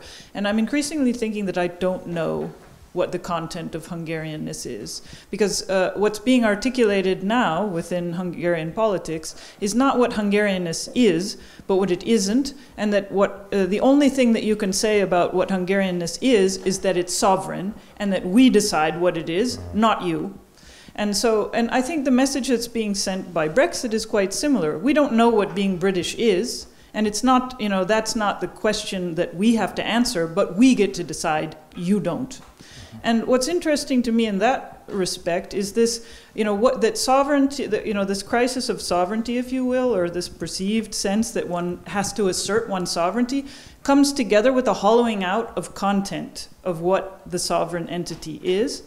And at the very same moment that this is happening, there's there's kind of vacuum or this perception that the idea of Europe has to be filled with content somehow to account for this uh, lack. And I'm wondering, you know, like, uh, is there, are there any circumstances in which we can imagine someone saying that Europe is sovereign?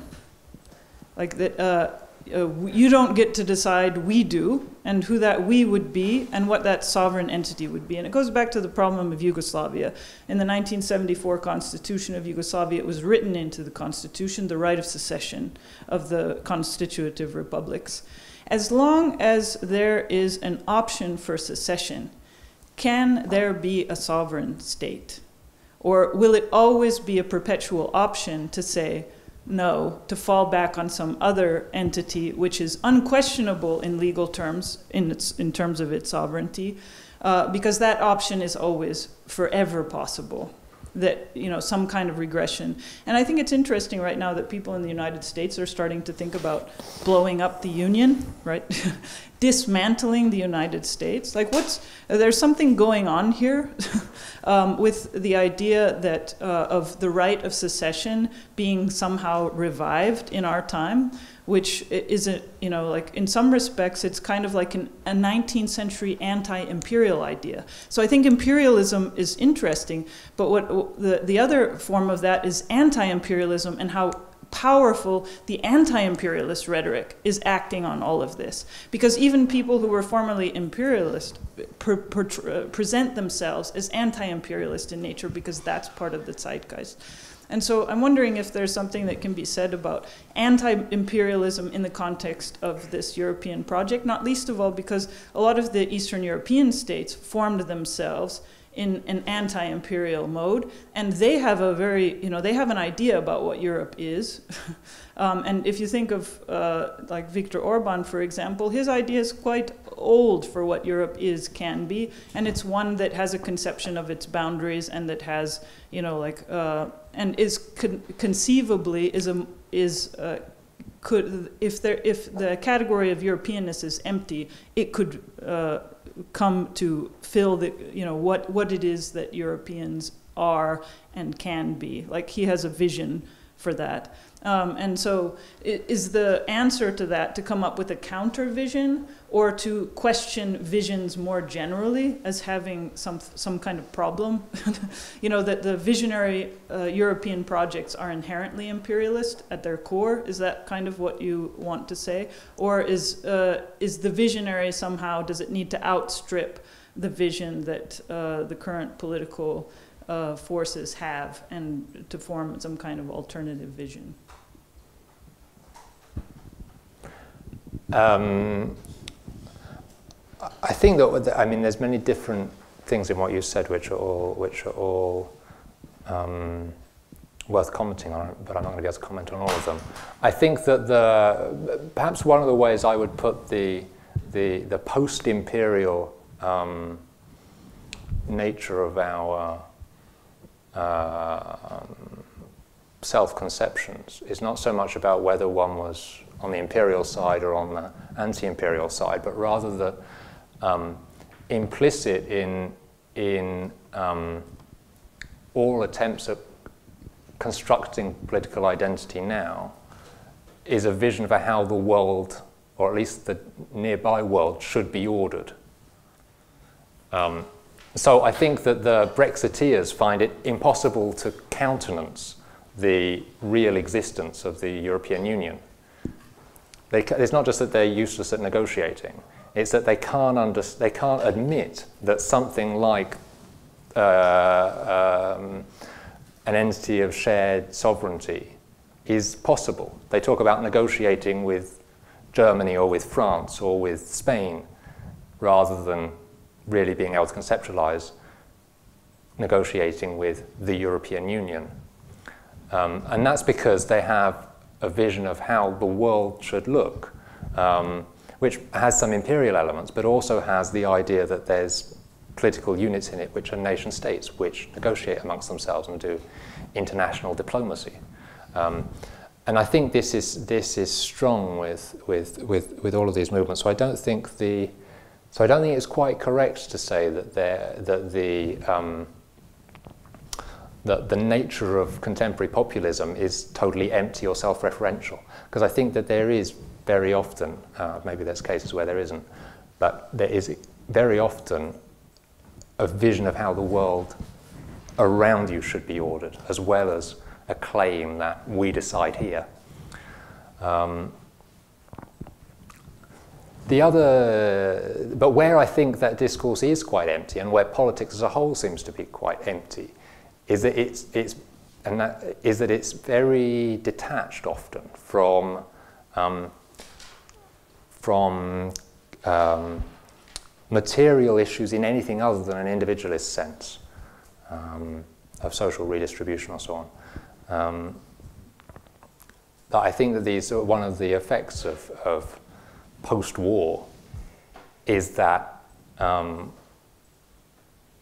material questions about land and territory don't get posed explicitly in the ways that they might have been in a in a in a in an age where war was much more present. They're still with us in cases of places that were recently in war. Um, but in places that weren't recently in war, um, these, these aspects are not fully articulated. And so I think that there is, why did no one in the UK in the Brexit uh, context really think about the Irish question? It's not all just because they're in England. I mean, there are plenty of people did in Ireland, but in but in England, um, I don't think it's just because they're imperialist or they all dislike the Irish or so on. It's that these questions seem ancient. Um, not, they didn't seem to be questions for today. Turns out that they are, very urgently. Um, but it's this kind of abstraction of politics, or this, in this sense, I think it's right to say it's empty uh, or, or, or, merely performative. Okay, over there. Thank you. Hello, my name is Philippe. I'm part of an NGO called Our Common Future and we are uh, working, among other things, we are working on future governance models.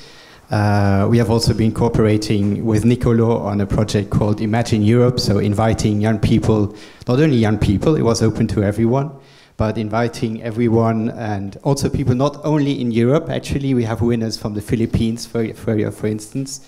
So inviting people to imagine Europe in the year 2050, so to look into the further future, future because we are usually thinking about what happens next year or maybe in two or three years, but not so far ahead. Um, thank you, Niccolo, for, for your inspirational presentation. So I think at the very beginning you said that uh, you didn't think Europe was a global concept. Yet at the very uh, at the same time, I think it raises the claim very often that many of the principles and the values that it upholds are in a way also universal. So how can we reconcile this?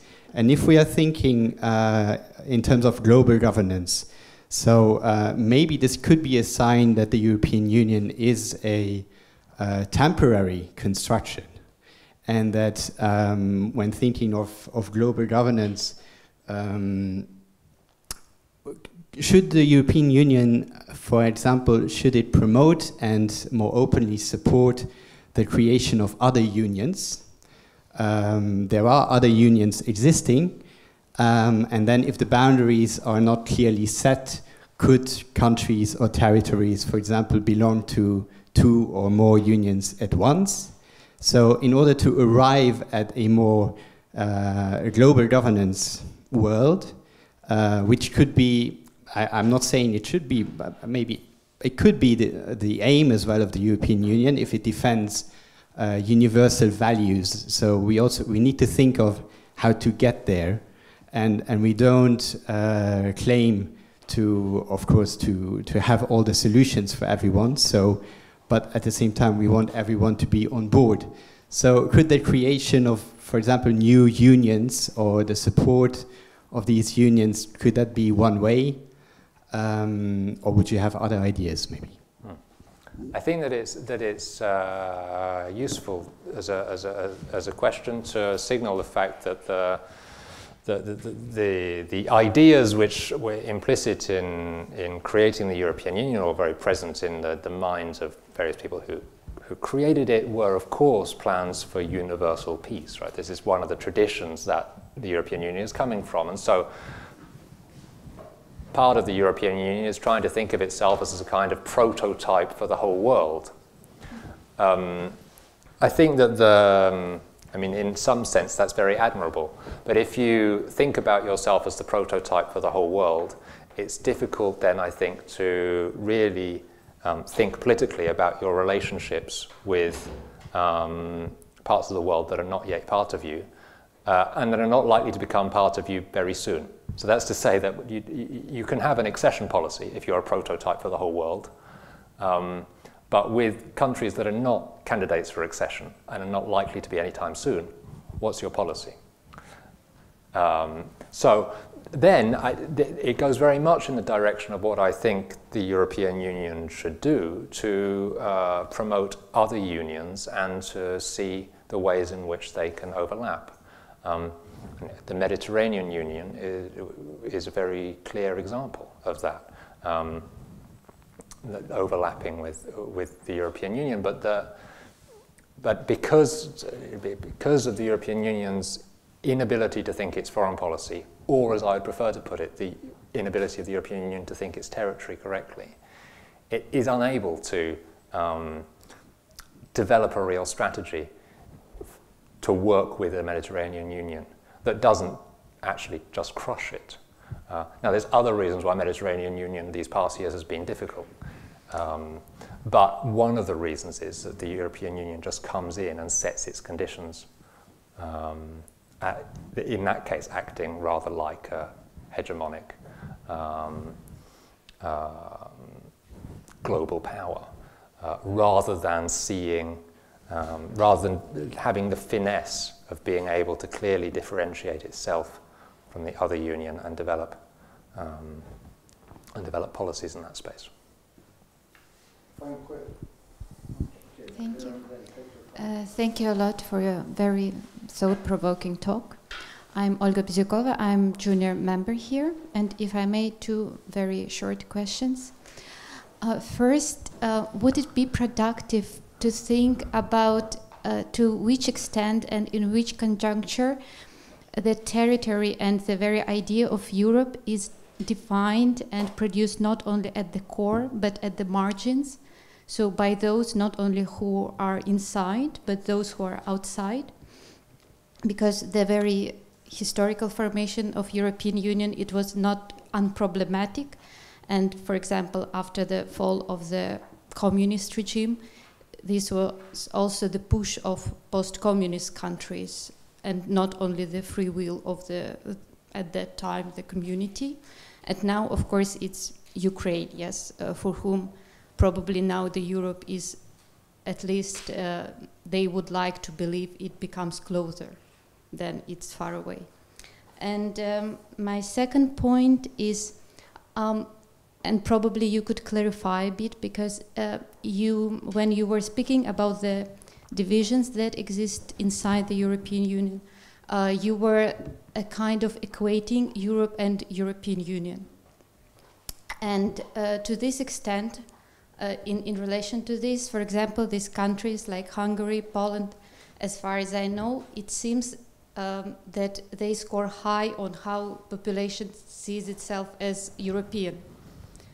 And basically, this migration uh, crisis, in a way, allowed to crystallize this agenda of alternative Europe. Yes, because even uh, positioning themselves in confrontation to the European Union, they also try to promote themselves as, in a way, true Europe, whatever uh, shallow or hollow it is. So these are my two short questions. Um, And so I think I have three, three, three remarks. Europe and its peripheries, and is it useful to think about the peripheries? Um, yes, in the, it, and, and, and I think that the crucial question there is how can the European Union justify itself to um, people or countries that are not part of it? How does it explain itself? So this, so, and I don't think the European Union currently has an answer to that, um, to that question. But I think it's in a certain way the, the first political question. You have to be able to explain why is one community separate from another. Um, and if the only answer you have, for example, is force or walls, this is not, a, this is not an answer. Um, this is the lack of an answer. Identify, um, Europe and the European Union, I mean, of course, this is right, and it's, and it's always useful to, to, to insist that the European Union and Europe are different things. Um, one of the ways of saying what I tried to indicate earlier on is that Europe as an idea uh, can be thoroughly uh, ambiguous about its territorial extent, uh, and it always has been. Um, so, for the ancient Greeks, the Lebanon, as we would currently call it, was probably part of Europe. So, um, so there is distinction there. I think that the, um, and if you look at a map, you know, typically Europe is going to look larger than the European Union. Still, I think that it is. It, I think that now the idea of Europe is, indis- it cannot be thoroughly detached from the European Union. This, this name has been somehow captured. Europe has, Europa has been captured, and it's identified with a set of institutions and a bureaucracy. Um, and that might be a good thing or a bad thing, but that is the state of things. So that was the second remark. Um, do I still remember the third remark? Maybe not. Yeah, just just a very quick remark. Thank you very much. It was really really a good presentation. But just to play a bit the devil's advocate, or in this case the EU's advocate, um, I I do think that yeah we can have this insider perspective that the EU it's a bit vague and uncertain about its borders probably Russia shared this uncertainty. That's why they like to fly within EU members' uh, uh, airspaces in, in Sweden, in, in Baltic states, and elsewhere. But joke aside, it's um, I mean, if you are coming from an out uh, from a country to the EU that is not a new member state, that you realize that it's a very stark reality. For example, if you come from Serbia to the European Union without uh, a new passport, then it can take you several hours of time to get in, checked, and so on and so on. So the external borders of the EU are, I think, rather well, well, uh, well defended, especially in Hungary. I mean, if you want to come in as a refugee, you have to climb through meters of, of, of a fence. Um, one thing. The other thing is that, it, I mean, Schengen is something that, that at, at least a part of the European Union, I think it's it just makes again very important physical realities of, of where the EU's borders or part of the EU's borders end and where it begins. So um, I do think that, that and, and when it comes to the lack of, of uh, let's say, joint foreign policy in some issues, uh, I think the main reason here is that it's 28 member states that have to come to an agreement, and in a lot of cases it was successful. For example, the EU-Turkey deal proved to be quite successful in defending the borders of the European Union uh, from part of the refugee uh, crisis. So I, uh, uh, so I, I, do think that the EU is more concrete, especially from an external perspective, than we, we tend to assume. Yes, um, I agree with all of that. The, the EU has borders. You can say where they are.